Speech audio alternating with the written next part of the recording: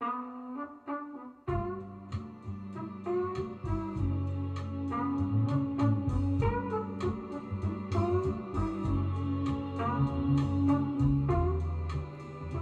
Hello, I'm Jacqui Marson, and welcome to this week's edition of Love Decoded, brought to you by eHarmony, the site that takes finding love seriously. If you're fascinated by the science of love, decoding the mysteries of attraction, and unraveling our ideas of romance, then this is the show for you. Now, this week, I'm very excited to say we're going to be discussing dating deal breakers, a topic that I think is endlessly fascinating. So, we'll be answering your questions throughout the show. Um, so, please join in with the conversation in the comments now. Um, and also, I want you today to kind of send in what's your most unusual deal breaker, either that you have ever had or that you've ever heard about, because there's some crazy ones out there, ridiculous ones, and it's good to bring some humour to it. So, have you ever ended a relationship over something small that you just couldn't ignore. Um, we would love to hear your stories. Just send in one word if you want, like, you know, shoes, hair, sandwich. Uh, so today I'm joined by eHarmony's in-house relationship expert, Rachael Lloyd, and acclaimed makeup artist and life coach, Lee Pycroft. Rachael and Lee, welcome to today's show. Thank you. It's lovely I, to be here. Thank you very much. Juicy, juicy topic. It's isn't it a juicy topic? Great topic, isn't it? yeah. I thought we should get so much. I hope, on this today. And we're all going to be really honest, aren't we, about our own deal? Absolutely. Yes, we're going to try. All about. Yes. yes. so we'll come to that in just a minute. Yes. Like, we'll just open it with a bit mm. of setting this up in a bit of theory. Lee, yes. um, I mean, we all have probably, or many people have this idea of a type, that's my yes. type, and it's this and the other. Where does that differ from a deal breaker? And when is that kind of, when does it become unhelpful? Okay, so I think that firstly you can have a type, but I think when people talk about types, they make it quite general. Mm. And I think that really knowing what you want to create in a relationship is really important. So you'd have your must-haves, so you might have your type of person, things in common, values, that kind of thing. And then your must-have-nots, which are really your deal breakers. And I think that can change depending on what life phase you're at. Now, if we're talking about dating, we're really looking at just exploring whether someone is right for us and whether we're right for them. So, I mean, it can be, you know, anything from sort of online, for example, someone might tell a fib about on their profile or something like that, which happened to me. Um, so well, wait, wait, wait. You yes. told a fib or you no, they caught out a fib? I told, no, I didn't tell a fib. Jacqui. No, they told a fib, actually. So I remember dating someone and uh, it all looked great online. And then when we'd been seeing each other for a little bit, I saw his passport in his what, sitting you mean room. you found I was, going to say, well, no actually, snooping well, no snooping, but it was actually just there and I sort of flicked it open and then the date was very different. I thought, oh, why would you As, Wait, wait, the date of birth? Yes, date of birth. about his age? Yes, done about his age, yeah. exactly, exactly, which of course can happen. So I think the deal breakers really are what the deal breakers are maybe when you're first starting dating, and then once you get into the relationship, the things that you really must have not. You know, you must have nots because it's unhealthy for you. Yes. And it's not in alignment with your values. Yes, yes. So I thought, researching this topic, I thought that really there's two different kind of deal breakers mm. Mm. There are those kind of you were talking about that are about compatibility, about your values. Yes. Let's call them maybe almost like the sensible deal breakers or deal makers. Yeah. That's more positive way. Yeah, like deal makers. Deal makers. Mm-hmm. Yeah. But then, to me, over the years, with my clients, with my friends, with myself. Mm. I think another thing to talk about today that's that's got more humour attached to it is the way, where we have these sort of slightly ridiculous, ludicrous things that are often about superficiality, about yes. fashion, about what we think our friends will think. Yes. And it's those I want to unearth a bit. So mm. Let me ask you now, let's be honest, if we're asking people to send those in, Rachael, what... what Why would... did I have to um, Looking back, you can go back over As I look back, I'm giggling because I'm remembering I went on a date once with a guy that he was fine, slightly bad genes when he got to the date, but then he started talking about his gerbil. And he was really attached to this gerbil. And after the date, he texted me a picture of him and his gerbil. Did he give it a really human name? Yeah, like Steve like, or yeah, Brian? Yeah, yeah. yeah. And yeah. so, you know, yeah. and I tried to uh, sort of set up for a second date because I thought in every other respect, you know, and it's mm. nice that he mm. has this fondness for this creature. Yeah, yeah. But I couldn't. Uh, in the end, it just felt a bit too weird too early. It might be a bit too much competition. gerbil. you see, but that, that's it, because some of them are ludicrous. Your animal love with, oh, how cute, he I'm loves so sorry about that. Yeah. But it's about the meaning it holds mm, to you. Course, and that's yes. a real area for you, isn't it, Lee? Yeah, absolutely. Quite like this association you have yeah. with the past. Because everything, Yes. every emotion we have will have an association to a past event, you know. And I think that deal breakers suddenly it can be just something that's really irritating. I have a thing about if someone has a really high pitched voice, Ah. then that just doesn't. I can't. It just doesn't resonate with me. It's really interesting. I don't take them seriously. Now, where's that come from? Yeah. Uh, my friend once went on again another internet date, not eHarmony, of course, because they would be more intelligently matched. But she went on a date and went to pick up this guy that she hadn't spoken to. Obviously, they'd emailed, and he had a really, really squeaky voice. And I'm, I'm, I mean, I hope she's not watching because she'll sort of might strangle me for telling this story. But as he went, and went to get in the car, she just said, stand back a minute, and literally floored it and drove off. I mean, that was so Oh, unkind. terrible. But these things can be ridiculous and very superficial. Very superficial, Um, exactly, yeah. And yeah. I guess, you know, in a way, we really need to think about like the, the, the deal makers because deal breakers are things that can be adapted or worked with, or, or they might just be silly old Exactly. prejudices, you know? Yeah, because what I was thinking about this is like we are not. It's not genetic that we have things Yeah. that are on lots of people's That's so tops of their lists. Like um, I looked at this uh, Psychology Today in America. They had interviewed thousands of people. Top of the list for women was Mm. uh, bad table manners. And poor hygiene, and I kind of Yeah, thought, well, understand Poor they're not they're yeah. not genetic things that you might not shower enough, or that you talk with your mouth open with food in it. So actually, they're habits. They've been learned. It's a learned behaviour, You isn't it? could Yeah. relearn that. In fact, I know someone whose girlfriend Yeah. fell in love with this woman. She said to him, I can't bear it, you eat with your mouth open. And he changed it immediately. Mm. And now they're having a fantastic relationship. So it's kind of like one of the things I wanted to put out there today is that, again, we, we maybe make our list, we look at those deal breakers and kind of think, can I, can I creatively, imaginatively I see around that? Or once we got to the point where we had enough communication, could we talk about it? Have you ever Yeah. examples? Of, do you talk to clients about that, Lee? Yes, I do, but I think because I think it can be very easy to be very set in what you want, Yes. and not have that flexibility. And I think we live in a culture where we're very visual. A lot of people, and they'll mm. sort of, especially online, you'll mm. look at how someone Yes, looks yes. and what they represent to you. But I think that you know, once you actually start digging a little deeper and refigure out what it is you want to create and your must-haves and your must-have-nots, things like if someone has a, a drink problem, that's a far more deep-rooted Yes, issue yes. rather than someone who maybe chews with their mouth open or maybe isn't particularly stylishly dressed. But I think there's a very big um, thing around really taking responsibility for who you are in the relationship and what you're showing up with, because it's easy to project of how everyone else should be.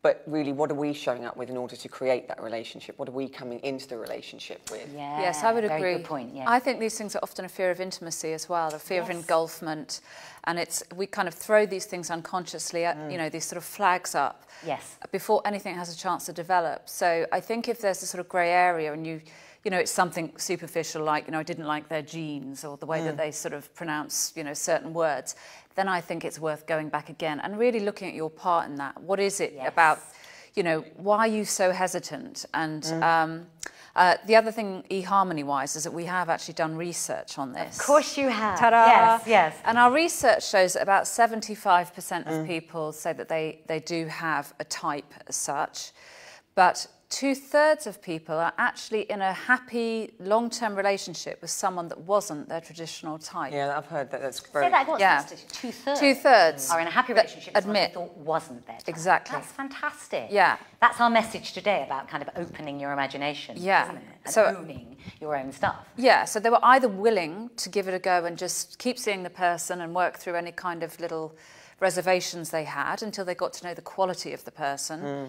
Or maybe they just got to know them at work or through friends. And of course, that's that's a lovely way as well, organically to meet people because you see who they really are. Yeah, and also I think you can tune into how you feel around them. Yeah. As online, you're looking at things really sort of in one Yeah, dimension, aren't true. you? Whereas when you're actually with someone, you can pick up on the nuances, whether you, you know, have good communication, whether you just Yeah. have that rapport with them, which I think is, you know, obviously the building blocks of a relationship. yeah, when you some- develop that rapport with somebody. I would second that by saying at eHarmony, we always encourage people to get offline Yes. and meet up as soon Yeah. as they can. Yeah, yeah, yeah. Yeah, I mean that's that's crucial because it's that human interaction. I think in a digital age, Yeah. you know, it's very easy to, you know, end up just texting friends even, Yeah. you know, and remain online. But actually, it's that human contact, it's Yeah. the eye contact. The smell, It's- just using our senses. Absolutely. And the smell of a person, the kind of feel of them, the- Yeah. their skin.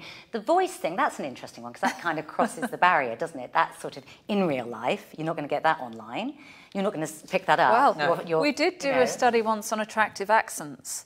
Um, and actually, it was, it was, you know, counterintuitively, it wasn't really the sort of French or Italian accent that people sort of lusted after the most. It was um, received pronunciation.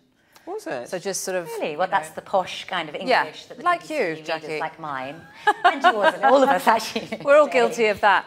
Um, so it was, but the Geordie accent actually did quite well as well. But it also it depends on trends because Cheryl Cole was on TV a lot at the time. Ah, so you know, Yeah, yeah. again, these things are like shifting yeah, yeah, sands, aren't they? Yes, yeah, what becomes trendy. Yeah. So I wanted to go back just a tiny bit Yeah. what you said about fear. That you didn't Yeah. use the word fear. Uh, what did you say? Fear of intimacy. Yeah, fear of intimacy. I, that's been my experience with my clients, really. The ones who have the kind of really specific and quite picky list, who would go on a date and immediately say, like, it was his Not shoes. right, yeah. He had the wrong shoes on. I go, well, Yeah. what, what shoes is he meant to have? And she go, well, not trainers, not brogues, not formal polished shoes. And it was mm. like maybe he could wear one shoe. And I'll say, okay, let's explore this. This is about mm. your fears mm. of what you, intimacy engulfment, about being hurt. So until you can, uh, one, uncover them, I would say, what those rigid, rigid are, personal rules are, and then what's your vulnerability? Yeah. What are you scared of? Yeah, You're not really going to absolutely. get past them because you're using them as a barrier, aren't you? Yeah. And I think that when in relationship, you know, the reason we go into relationships is to amplify our experience of life, right? We live our life through emotion.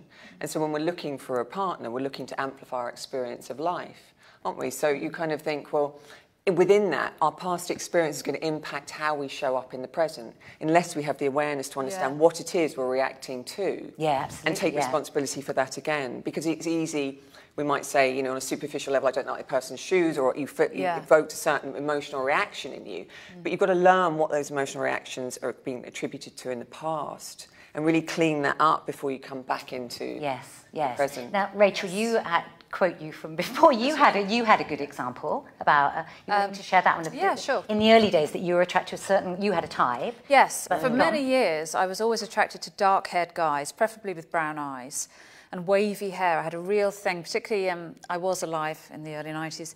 And, um, no, and wavy hair did it for me. And um, I even at one point in my distant youth went on a French dating website To get the Gallic charm. just to try because I thought, well, I, can, I actually went on a date to Paris, but that's a whole nother story. A whole nother story. For another day, another and, episode. and he was actually already in a relationship and he hadn't told me, so we won't go there. Mm. Wasn't he harmony, clearly? So, um, but what I realised was well, it was all about my dad. So I was totally in love with my dad as a little girl, like he was my hero. Mm. And he had wavy, almost raven black hair. He had that sort of Welsh blood. Mm.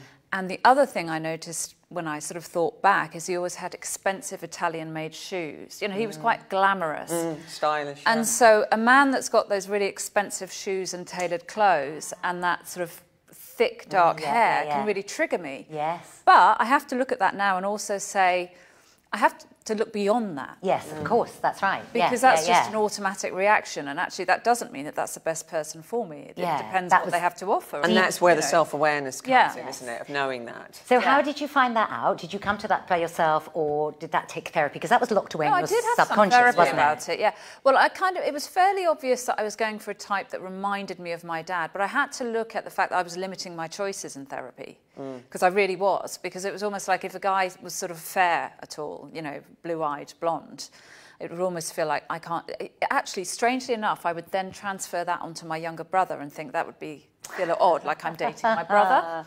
So you know, these things can be quite complex. But actually, I feel like I've really like thrown out those sort of criteria now yes. and widened, because um, you know, otherwise we just keep repeating patterns. We do. you We're just on that subconscious Yeah. rail track of doing the same old thing. Yeah. So in a way, and not that we're saying people shouldn't go to therapy, but Yeah. today a takeaway for, for the viewers watching could be: Do you think this might work with that? You just list your deal breakers Yeah. I was thinking this could be a little ex- takeaway Yes, exercise. yeah, yeah. And you just looked at are one, two, three, where do they come from? Are some of them a bit faintly ludicrous that you might choose to take them off the list? Yeah, and I think writing it down is really powerful as well. Yeah. So you can really see it literally in black and white. So you know what you do want and you know exactly what you don't want. And then you kind of look at it again and say, well, what are the things I could really let go of? Like, Yes. you know, the shoes, for example. Yes. Um, And possibly the curly and hair. possibly the curly hair. Well, I got. I actually had an ex-boyfriend who helped me dress better. So sometimes other people's deal breakers can make can sort of improve your Yes, experience. absolutely. I mean, because one openness, isn't it? Yeah. Yes, and you say that again in your blogs and Yes. vlogs, which we'll come on to in a minute because I want Yes. you to talk about your pockets of wisdom, pockets of Oh, wisdom. yeah. which I really, really love. Thank but I think we may have a question, so we will um, go to our first question. Just to say, everyone out there uh, watching, please don't forget if you have a question, a comment, or an experience to share, we would love to hear what have been your deal ma- breakers in the past. What are they now? So just be sure to let us know in the comments below. Um, and what about your wish list? Isn't it? Isn't it a good idea sometimes for singles that we need that wish list? That sort of turns it on its head. That's like what we were talking about the deal makers, wasn't it? Yeah, that's your must have. So I think this is where you have to create a very clear picture of what you want. So you risk going into a relationship and just reacting to what shows up. You know, the first person that maybe gives you a lot of attention or meets an emotional need Or in is you. familiar to you. It's familiar Yeah. to you. Yeah. You know, Yeah. you know, often people will go into dating and if they haven't cleaned up their past, they haven't got the self-awareness, they haven't created a clear picture in their mind, in their imagination of what is healthy for them, what they want to create, whether it's a mm. short-term relationship, an explore, an adventure, or mm. something more long-term and committed. Um, and I think that it's knowing and having that clarity mm. that is really key. Yeah, clarity is always a kind of keyword. Our research shows a quarter of people are confused about what their type is and what Ah, they should yeah. be looking for. Right. So actually, you know, it kind of tallies with all the conversations we're having. Is that um, people obviously are confused because they're kind of like if they have a type, they're sort of it's not necessarily taking them in the right direction. So Yes, yeah. yes, no, I could understand that you would have that confusion because that Yeah. is the process, really. That's Yeah. what. Okay, ladies, we do have our first question. So uh, this, oh, this is a really, really good one. Uh, classic. Jake asks, "I'm five foot seven and single, and I'm really struggling to find someone who is willing to look past my height. I'd happily date someone taller than me, but how do I find someone who's happy to date a shorter man?" Jake, thank you so much for writing that in. Um, this is a massive one, both again in my life experience and research I've been doing, talking to my sons. One of my sons said, a friend of his who's five foot three, for weeks he never got a swipe on Tinder if he was honest about his height. But then if he isn't honest about his height and he turns up to a date, Yeah, of course, the it's obvious, wo- yeah. And so I just thought, apart, you know, I'm sort of shocked and appalled, and yet it's still that's still clearly, really deeply in our. I don't know, our cultural zeitgeist. Is it for I mean, women? What I do you think- two think, I think about this that? is the thing. It's that we have this sort of you know cultural idea of what being a desirable is. Yes. And I think that if you're five foot seven mm. and you you you have a belief that being five foot seven is not okay, it's not enough in the construct, societal Ah. construct. I think you firstly you've got to look for role models, people who you admire who are five Okay. foot seven. You know, and use those as your sort of mentors, you know, people that inspire you.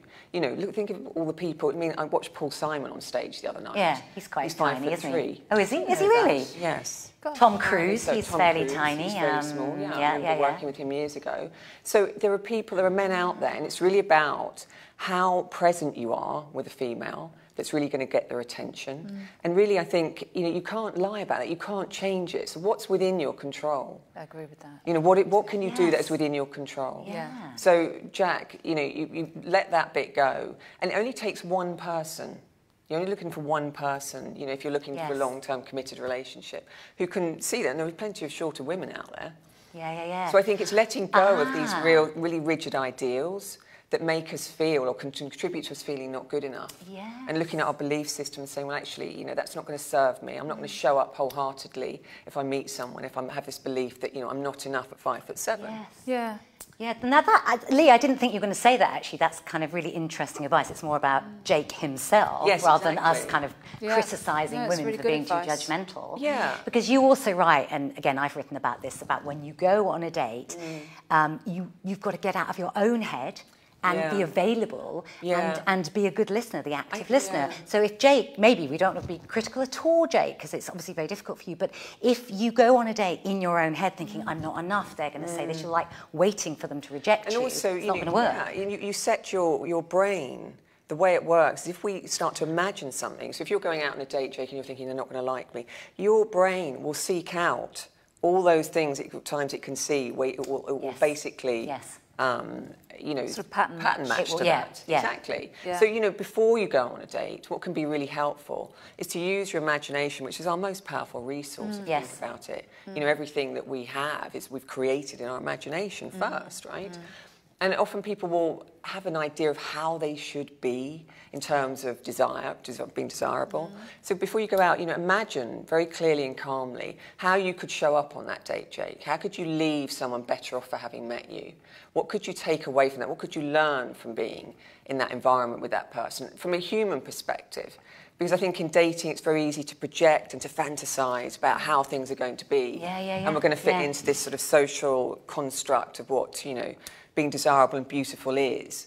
Um, and I think it's looking beyond that Yeah, and looking at your own your own belief system and really coming, you know, I'm a big believer in coming in from a much more human perspective of, of one human being meeting another human being, and you happen to be male and female. Yeah, because that's what it comes down to. the That's what it comes course. down to. And if you can be present with someone and listen, there's a huge amount of Yes, value in that. yes. And that is again about not hang, being hung up on your own insecurities in order to be available. Totally. Rachael, what would you say Well, to I'm, I'm still, I feel like I've had a warm psychological cuddle from Leah. It's so lovely, that advice, and it's so sort of tailored. Mm. yeah. And, it's, and it made me pause for thought and think, yeah, it, it is about having a meaning, meaningful experience with somebody Mm. and not necessarily thinking about, you know, will I tick this box? Will they tick that? Because you want to Yes. take something away from that time together. Yeah. Um, yeah. so I'm really the sort of liking that. human, human point. I think with deal breakers, you know, we're being slightly humorous about this. Yeah, we are. But when you look at it at a deeper level, um, I think it is about not going in with the expectation. Yes. Going Yes. in from a place of appreciation rather than what am I going to get from this person. Yes. Yeah. Yes. Well, what are they going to think of me? You know, what can I give to this person mm. in this short period of time I'm with them? Yeah. What human exchange can we have that will both open us up to a new way of perhaps seeing dating or relationships or in- interacting Yeah. with each other? And, you know, when we're dating, as we're exploring whether someone is right for us, I think it's a really warm and human way of going about it rather than having tons of checklists. But you have your clear picture, but going in from a place of appreciation Yeah, no, lovely. That's gorgeous for everything, really. Mm. I would just say, on a, uh, maybe a practical note for Jake. There's something about, again, we were talking about the digital world and digital Mm. dating, all the swiping. That does going to privilege the visual and these pieces of information. So I think, Jake, like, you know, what, what we call in real life, IRL, it's like, get out there. This is, we've said this in other episodes, but it's kind of like um, where you're passionate, where you're at your best, sort of like you're saying, Lee. Um, go to activities, meet women in real life where they will see beyond your your height because it's irrelevant about what kind of person you are. That you know you're confident people, don't Exactly, they? People love people who are in the flow, in their zone, doing what they love. Yeah. And that's Yeah, what yeah. that's what attracts people to you. your passion and your Yeah, it's- enthusiasm, and that's when you're not being self-conscious and not thinking about yourself. Yeah, So, absolutely. um, Jake, I would say that's from the panel of experts here. It's uh, so think of some role models. Go and meet people in real life, and and also really those women who are going to judge you on your height. You don't really want to be with them anyway. You want someone who values you for the precious and unique person you are. Um, so, more questions, please. Do you have a burning question? Um, do you agree with what we're saying, our assessment? You can totally disagree. Write in in the comment section. Uh, we'll be taking more of your questions after this look at one of eHarmony's love stories. I mean, I was scared to death of dating. I looked at what I really wanted to get out of life, and that was when I decided to go on eHarmony and try, and try a different method. I had been living overseas and had recently moved back, and all my friends were either married or in long term relationships, so eHarmony seemed to be the good way to go. I'm Martin. I'm Morwenna, we live in Bristol, and we've been together eight years. I liked the matching process, so I felt that anybody that I met would have invested some time and effort into it. The whole process of going through that questionnaire really had you think about who it was you wanted to meet as well. It got me thinking about what I wanted in a partner rather than what somebody might want in me, and that was a big shift. I just thought you were too hmm. good to be true, really. Hmm. Yeah, I had this wish list, and then kind of secret secondary wish list, and yeah, there's still things on there that he does now, and I'm like, oh, that's off that secondary secret wish list that no one knows about. I certainly wouldn't have approached you in the pub. I'd have been scared to death. So. but the, the whole eHarmony process just is such a gentle, gentle approach. You get to know really deep things about each other quite early on. I think anybody looking in could see that we're happy and content. Something in that match has worked here. I'm pretty sure of that. I think eHarmony does make happy relationships. Yeah, certainly made one here. Yeah.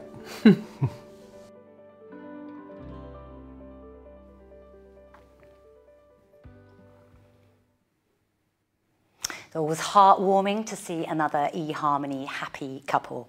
You're watching Love Decoded, brought to you by eHarmony. I'm Jacqui Marson, and today I'm joined by Rachael Lloyd, eHarmony's relationship expert and makeup artist and love coach Lee Pycroft, who's giving us some amazing bits of kind of wisdom and insight in our dating deal breakers that we're talking about today. So please join in the conversation in the comments now and get involved with what we're saying. Uh, so we have another question here from Ellen. Ellen asks, on a first date, what are the things we should look out for? Okay, thank you, Ellen. I would say before that, I'm always, um, it rings my alarm bell when someone uses the words should and mm-hmm. you actually, Lee, you've written about that because yes. it's part of, of rigid personal rules yes. when we say, I should do this, I should do that. Yes. And if you change it to a could, mm-hmm. you open up the world. One is very narrow and rigid exactly. and judgmental, the one should. And one, so we'll just repeat that for people because that was one of my massive ahas. Mm. Sometimes I'd work with people for weeks and they'll go like, oh, the thing I learned from you was the should to could. Yes, yeah. I mean, just using those words, I mean, it's interesting the words people use, isn't it? Yes. To describe things because it will create an emotional response in your body. Yes you know, and then yes. through that, then you're going to behave in a certain way. Yeah, so, so should is immediately like you become a bit rigid. Yeah. Putting pressure and it's a rule. yourself. Yes, you know, and if it's not that, then yeah. then it can't be. And it goes into that sort of way of black and white thinking. Exactly. You know, when we yeah. can catastrophize, when we get a bit emotionally hijacked, we'll shut down access to that logical part of our brain and we'll, it's either this or it's that. It's very black and white. That's right. So opening up and just using that vocabulary could. Could just opens it up and what? it's a bit more flexible. That's right. So, Ellen, what could you be doing on the first date? What could you yeah. be looking for? Well, I think you firstly be really open-minded. I mean, there's obvious things like if someone is very rude or bad-tempered. Um, I think if they are not listening to you, if they are very distracted by their mobile phone, if they're not present with you, you will pick up on it. And I think it's just going into it from that place of openness. And if you've done what we were suggesting earlier, and you've created a picture of what it is you would like to create, then you're going to have an idea already when you go into that. And think of it, you know, and this is why I'm a yeah. big fan of sort of, you know, don't do a big first date. Go for a cup of coffee. Yeah, I think yes, yes. You know, go for a cup yeah. of coffee in the daytime. And we've, we've yeah. talked about this before, haven't we? Even going for an activity date where you're sort of side by side in parallel rather than that interview mode, which brings nerves and tensions and kind of allows itself for the deal breakers because you're looking at the shoes and the hair Absolutely. and the way they talk and everything, isn't yeah. it? Just go and see how you feel and just be open-minded and you'll have you'll have your sort of clear picture anyway of what what you want and what you don't want. And I think just be open about it. Yeah. I would say um, it's good to find out a bit about the person before you go on the date because some people literally they just do a bit quick swipe and they're off. Mm. So if you can establish that you've got some common ground and that you're looking for the same kind of thing common. and you know and be fairly open about that. I think people tend to be a bit coy and mysterious when they're out there in the world of casual digital dating. Mm. And um, I think, you know, if you're looking for a meaningful relationship, a long lasting one, then you can be pretty open about what you're looking for before you go on the date. Um, but having got there, I think, yeah, don't put too much pressure on. This has yeah. got to be, you yeah. know, uh, and this is an audition for both of us, and we need to see if we actually have any future together, you yes. know, be it two weeks in Swansea or a lifetime. Um, and I think, you know... Swansea, Swansea yeah. Why not? Love it. Swansea fans. Yeah. and I think kindness. But the big thing that seems to separate a lot of my female friends, just sort of, you know, chatting with them, is who pays the bill. Mm. Which sounds really dated mm. and a bit sexist, whichever way you look at it. But there seem to be so many women I know who sort of they feel like a man is not treating them properly if he's not picking up the, the bill, which I find kind of odd in modern times. Yeah, yeah. So, it, you know, our perception of what is good and bad behaviour on a date can be affected by our own background, our values, and, and our age, actually. Mm. Yes, I'd be interested yes. to know what 20 somethings think about that one. But I think also yeah. this is why when you go out and it's a cup of coffee, fine. You know, you Yeah, can, you keep can it split simple. keep it simple. Yes. And then as time progresses, you can talk about, you know, who pays for what. And I think, you know, most women work, they have their own incomes. Yeah. You know, it's great to sort of treat your partner sometimes, your boyfriend, if it develops into that. And some, and depending on the type of man, some men like to pay more. You know, mm. it's, it's, it can be a status thing sometimes. So I think just, it's something you can discuss, but in the It's not a deal days- breaker, is it? No, not on an early a Deal breaker, unless, Yeah. no, not on an early date. I think Yeah. keep it really simple. Yeah. I think also the idea of um, going for this first date and again, you, like you would say, but opening your mind and kind of making some allowances. Yes. Because I think often, I mean, I know we're talking to women and, and men here today, Mm. but, you know, um, we can be, we, that very rigidness about thinking he should be, you talk about your fantasy figure, Mm. and women can often put that onto men, rather than thinking they are just as nervous and anxious probably Absolutely. as you are, the because we're all human beings, the human perspective. So kind of if someone, because when I looked at this Psychology Today research, the number one, one of the number one deal breakers is being rude to a waiter. And of course we'd Mm. all agree, it feels like, yeah, of course.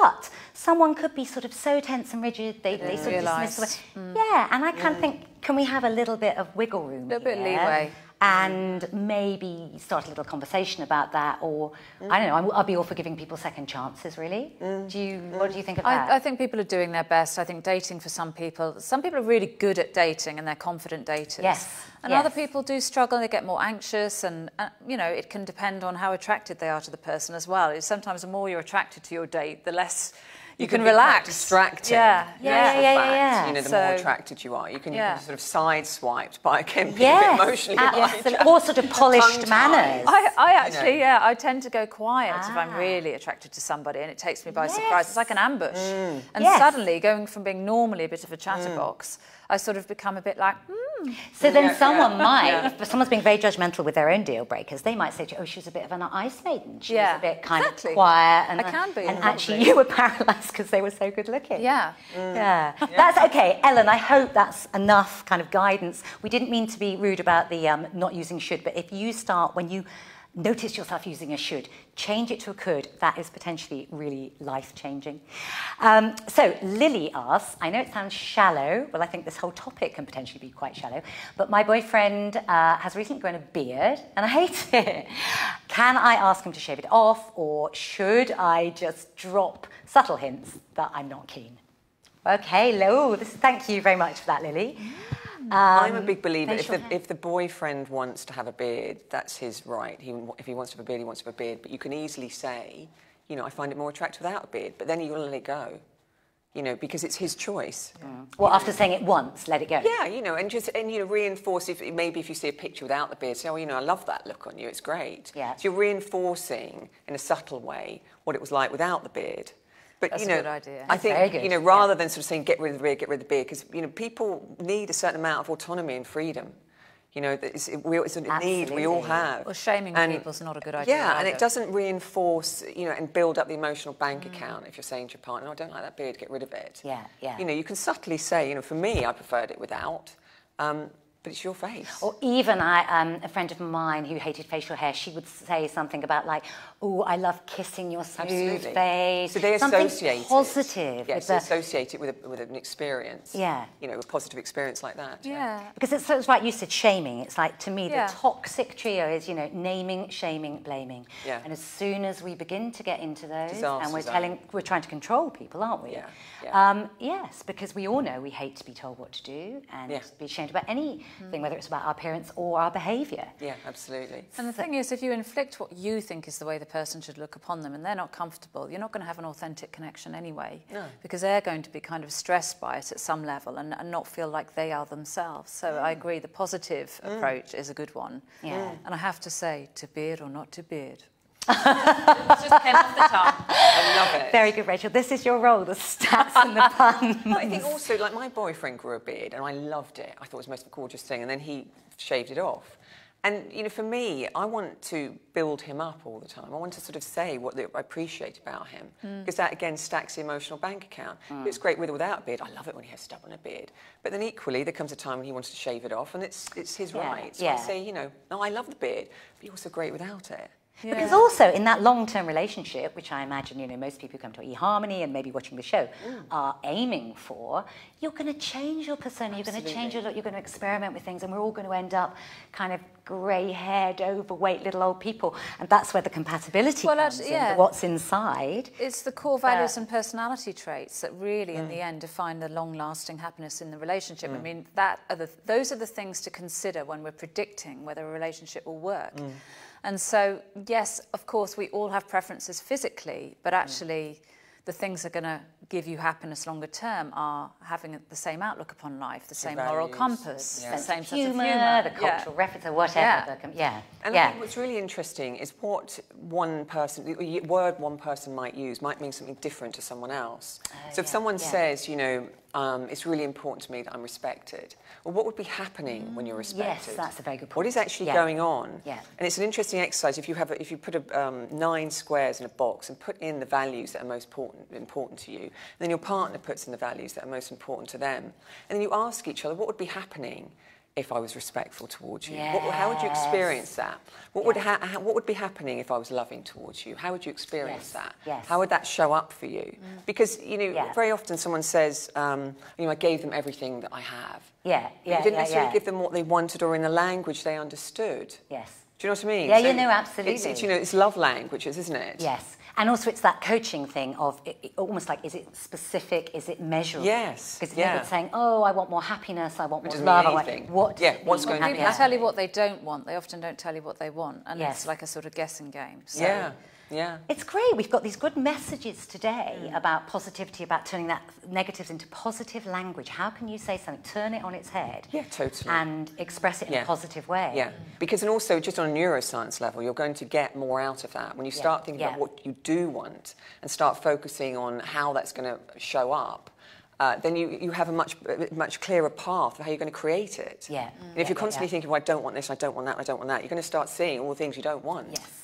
Yeah. So, and you know, that communication between couples, especially as they're evolving more and developing from dating maybe into a relationship and having that clarity and understanding what each other's values are and how that is going to work on an everyday level, Yeah. that's how you grow the relationship. Yeah, and I'm all for, you know, many of the people I see might have problems with um, push-pull relationships or relationships where they're on, you know, being emotionally hijacked and they're automatically responding to things. But relationships need to amplify our experience of life and grow through them, not close us down. Yeah, You know, that's why we, we, we, we're in them.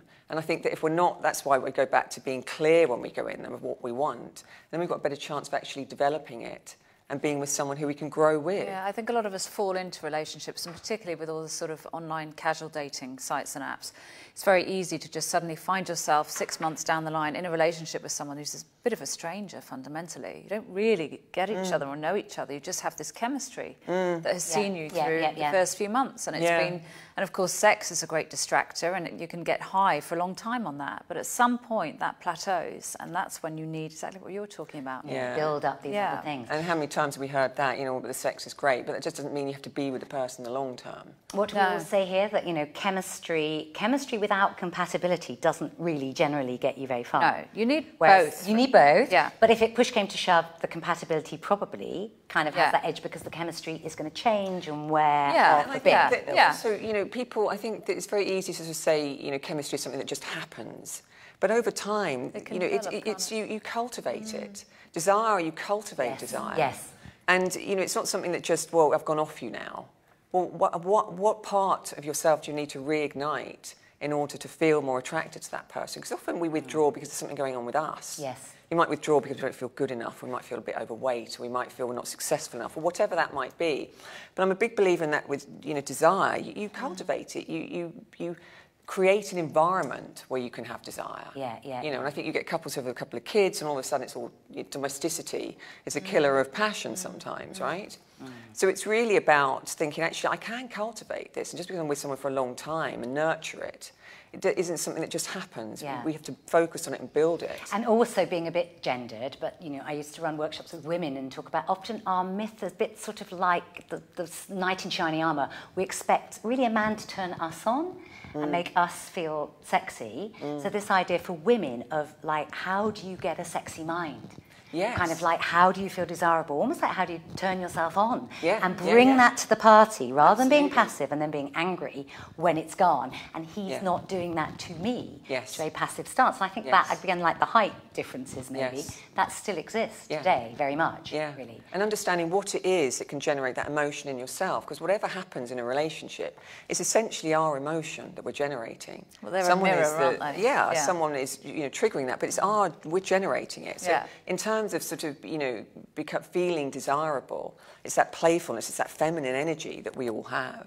You know, and it's whether it's Yeah. music can be a great state changer. Yeah. You know, putting on a great tune, you know, dancing, freeing up that energy within you know yourself. Yeah, Yes, I yes, find even yes. from a platonic single perspective, I feel more attractive and more. I have probably more Mm. potential sexual energy that I'd give off when I say been to my beloved gym and had a really good session with Oh, yeah, music. yeah, yeah. Or I'm doing something I love, or I've gone, you know, kayaking Yes. down the river somewhere Yes. on the weekend. Because I really go into myself, and it's like I feel ignited I am my best energy. self. Yeah. Yes, and yeah, because yeah, you, yeah. You, you, you, when you, you move, Yeah. we can change our emotional state. So Yeah. we're talking about desirability, you Yeah. know, movement, That's dancing, so true. doing something Dancing that we is amazing for that. Yeah, dancing is fantastic. It's very Yeah. freeing.